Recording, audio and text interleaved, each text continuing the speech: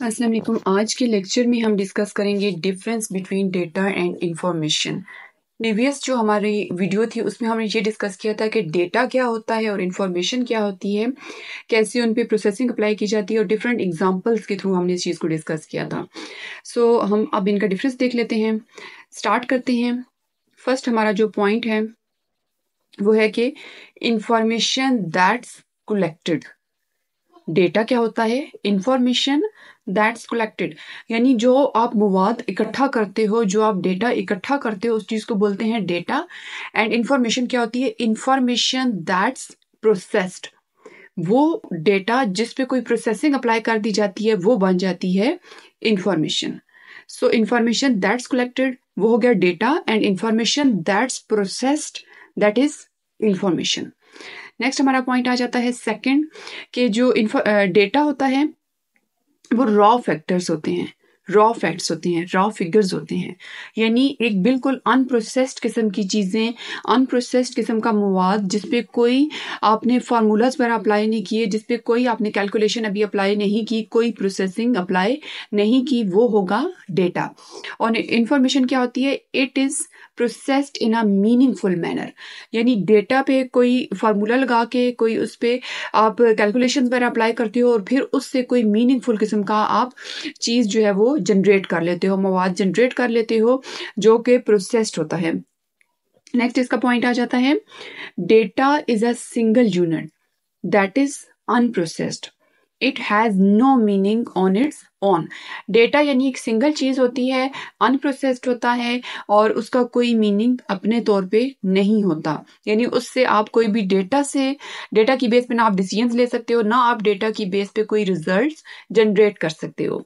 Then अगर हम information को देखें तो it is a product and a collection of data that together contain a logical meaning यानी जब बहुत सारा डेटा जो होता है वो इकट्ठा किया जाता है कलेक्ट किया जाता है, उसको प्रोडक्ट उसकी ली जाती है तो वो बन जाता है हमारे पास इंफॉर्मेशन और जब उसको इकट्ठा करके यानी together contain a logical meaning जब वो डेटा इकट्ठा कर दिया जाता है इन्फॉर्मेशन उससे जनरेट हो जाती है उस पर हमने कैलकुलेशन भी अप्लाई कर दी फॉर्मूलाज वगैरह भी उस पर लगा दिए तो वो बन गई हमारे पास information with a logical meaning यानी इन्फॉर्मेशन की बेस पे डिसीज़न लिए जा सकते हैं। आप कोई भी अपनी कंपनी है, उसमें डिसीज़न अगर लेने हैं तो किसकी बेस पे लोगे? आप इन्फॉर्मेशन की बेस पे लोगे। अब नेक्स्ट हमारे पास इसका पॉइंट आ जाता है कि data it doesn't depend on information data depend नहीं करता इंफॉर्मेशन पे। बट अगर हम इंफॉर्मेशन को देखें तो it's it depend on data information depend करती है. इंफॉर्मेशन की एग्जिस्टेंस के लिए मैंडेटरी है किसका होना? डेटा का होना. बट डेटा के लिए इंफॉर्मेशन जो है वो सेकंड स्टेप होता है. तो डेटा के लिए बिल्कुल भी मैंडेटरी नहीं है कि इंफॉर्मेशन पहले से हमारे पास मौजूद हो. So data doesn't depend on information but information is dependent on data next point आ गया. Data is measured in bytes and bits data के लिए जो यूनिट यूज़ होते हैं these are bytes and bits अगर हम इंफॉर्मेशन की बात करें तो it is measured in meaningful units such as quantity time and so on यानी जो हमारे पास इंफॉर्मेशन होती है, उसकी हम मकदार देखते हैं, उसकी हम क्वान्टिटी देखते हैं, उसका हम तनासब देखते हैं। एंड टाइम वगैरह और इस तरह के जो जितने भी यूनिट्स होते हैं, वो यूज़ होते हैं इंफॉर्मेशन के लिए क्योंकि वो मीनिंगफुल चीज़ है। लेकिन जो हमारे पास डेटा होता है, वो रॉ फैक्ट्स एंड फिगर्स हैं और उसके लिए जो यूनिट यूज़ होता है that is bits or bytes next point है data it can't be utilized for decision making and information को अगर हम देखें तो it's widely utilize for decision making कि इन्फॉर्मेशन से आप कंपनी में कोई भी डिसीज़न ले सकते हो। क्यों? क्योंकि इन्फॉर्मेशन कहाँ से गैदर की जाती है? इन्फॉर्मेशन डेटा पे कैलकुलेशन वगैरह लगा के निकाली जाती है। सो so, इन्फॉर्मेशन को आप डिसीज़न मेकिंग के लिए यूज़ कर सकते हो। और जो आपके पास डेटा होता है वो जस्ट ड्रॉप एक्शन फिगर है। उन पर कोई भी जो है फार्मूला भी नहीं लगा हुआ तो उससे कोई भी डिसीज़न आप नहीं ले सकते। नेक्स्ट हमारे पास आ गया कि data it is an organisation property and it is not for sale to the general public के जो डेटा होता है, वो एक ऑर्गेनाइजेशन अपने सोर्सेज से इकट्ठा करती है और वो जनरल पब्लिक को कभी भी सेल नहीं करेगी। बल्कि जो डेटा के रिजल्ट्स होते हैं, वो जनरली पब्लिक किए जा सकते हैं। डेटा को खुद जो है वो शो नहीं किया जाता। वो एक जो ऑर्गेनाइजेशन होती है, उसकी अपनी प्रॉपर्टी है। लेकिन अगर हम इंफॉर्मेशन को देखें तो ये बिल्कुल उसका जो है वो उलट है।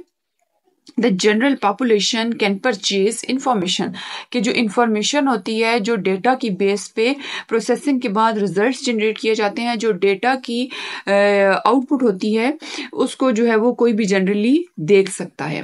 नेक्स्ट आता है हमारे पास point the data gathered by the researcher may or may not be beneficial कि जो डेटा इकट्ठा किया जाता है बाज़ात वो डेटा में भी जिस मकसद के लिए हमने कलेक्ट किया है, उससे वो डिजायर्ड रिज़ल्ट में भी जनरेट ना हो। तो डेटा बेनिफिशियल हो भी सकता है रिसर्चर के लिए और नहीं भी हो सकता। मे बी उनको दोबारा से फिर सारा अपना टाइम मनी स्पेंड करनी पड़े और उन्हें दोबारा से डेटा कलेक्ट करना पड़े। लेकिन अगर हम इंफॉर्मेशन को देखें तो information is helpful and valuable because it is easily accessible to the researcher कि इंफॉर्मेशन जो होती है, वो हेल्पफुल होती है, वो मोर वैल्यूएबल होती है और ईजीली वो एक्सेसिबल होती है किसको? रिसर्चर को। यानी इंफॉर्मेशन हर हाल में बेनिफिशियल ही है। डेटा कभी बेनिफिशियल हो सकता है, कभी नहीं हो सकता। लेकिन इंफॉर्मेशन जो होती है, वो बेनिफिशियल हो सकती है। इसमें एक और पॉइंट भी आता है कि जो डेटा होता है, उसका वॉल्यूम ज़्यादा होता है। हमेशा डेटा का वॉल्यूम ज़्यादा होता है और इंफॉर्मेशन क्या होती है, उस डेटा पे प्रोसेसिंग करके एक सिंगल रिज़ल्ट होता है। तो जो डेटा होता है, उसका वॉल्यूम ज़्यादा और इन्फॉर्मेशन का वॉल्यूम हमेशा जो होता है, वो लेस देन डेटा होता है। नेक्स्ट पॉइंट आता है data is never tailor to the exact requirement of the user यानी जो डेटा होता है जस्ट हम डेटा कलेक्ट करके यूज़र को जो जो जिसने कलेक्ट करवाया, हम उसको इकट्ठा करके वो डेटा कभी भी प्रेजेंट नहीं करेंगे, क्योंकि वो यूज़र की एग्जैक्ट रिक्वायरमेंट के अकॉर्डिंग नहीं होगा। लेकिन अगर हम इंफॉर्मेशन की बात करें तो because all unnecessary data and statistics are deleted throughout the translation process information is always customise to the requirements and expectations यानी जो यूज़र की एग्जैक्ट कस्टमाइज उसको कर दिया जाएगा। एग्जैक्ट जो उसकी एक्सपेक्टेशंस होंगी, जो उसकी रिक्वायरमेंट्स होंगी इंफॉर्मेशन को उसके अकॉर्डिंग जो है वो कस्टमाइज किया जाएगा। और ये सारा कुछ किसके थ्रू किया जाएगा? ये ट्रांसलेशन प्रोसेस के थ्रू जो है, जो अननेसेसरी उसमें से चीज़ें होंगी, जो स्टेटिस्टिक्स होंगे, उनको डिलीट कर दिया जाएगा। और एग्जैक्टली exactly जो है वो यूज़र की जो रिक्वायरमेंट्स या एक्सपेक्टेशंस हैं वो उसको मीट कर रहा होगा। लेकिन अगर हम डेटा की बात करें तो वो एग्जैक्ट जो यूज़र की रिक्वायरमेंट्स होती हैं डायरेक्टली वो उसको सेटिसफाई नहीं कर सकता। लेकिन इन्फॉर्मेशन जो होती है वो एक्सपेक्टेशंस के अकॉर्डिंग रिज़ल्ट को जनरेट किया जाता है वहाँ पर सो so, इसकी अगर हम एक छोटी सी एग्जांपल ले लें तो जैसे सेंसस के दौरान, मरदमशुमारी के दौरान जो डिफरेंट एक कंट्री के डिफरेंट जो सिटीज़ होती हैं डिफरेंट जो प्रोवेंसेस होते हैं, वहाँ पे टीमें जो होती हैं, वो मूव करती हैं टीम्स मूव करती हैं और वो डेटा कलेक्ट करती हैं घर घर जाके। अब उस डेटा की बेस पे क्या डिसीज़न लिए जा सकते हैं? वो हो गया डेटा रॉ फैक्ट्स जो है, वो जस्ट फॉर्म्स फिल करवा लिए गए। अब उसकी बेस पे ये डिसीज़न लिया जा सकता है कि एक कंट्री में जो है, वो एम्प्लॉयड जो पर्सन हैं, उनकी रेशो क्या है? या जो अनएम्प्लॉयमेंट है, उसकी रेशो क्या है, या एग्रीकल्चर के जो शोबा से वाबस्ता प्रोफेशन से वाबस्ता कितने परसेंट लोग हैं जो मुल्क में ख्वानगी या नाख्वानगी यानी एजुकेशन या जो अनएजुकेटेड पर्सन हैं, उनकी रेशो क्या है? तो इस तरह के जो डिसीज़न होते हैं, वो लिए जाते हैं। हमारे पास जो है वो जो सेंसस का डेटा इकट्ठा किया जाता है उसकी बेस पे। तो इन्फॉर्मेशन अब इसमें क्या होगा? जस्ट वो हमारे पास जो रेशियो आ जाएगी, कितने परसेंट लोग जो हैं वो क्या काम कर रहे हैं? एजुकेटेड कितने हैं? डॉक्टर्स कितने परसेंट हैं? जो है वो एग्रीकल्चर से रिलेटेड कितने परसेंट लोग हैं? तो वो सारे डिसीज़न जो होते हैं वो इस बेस पे लिए जाते हैं। जैसे अगर हम तालीम के शोबे की बात करें तो सेंसस की बेस पे जो डेटा इकट्ठा किया गया, उसकी बेस पे ये डिसीज़न लिया जाएगा कि किस वाले सिटी में जो एजुकेशन का जो रेशियो है वो ज़्यादा है, कम है। अगर कम है तो वहाँ पर मज़ीद जो है वो स्कूल कायम करने की जो है वो ज़रूरत है। तो इस तरह के डिसीज़न लिए जा सकते हैं। So thanks for watching this video and don't forget to like share and subscribe tech and C S department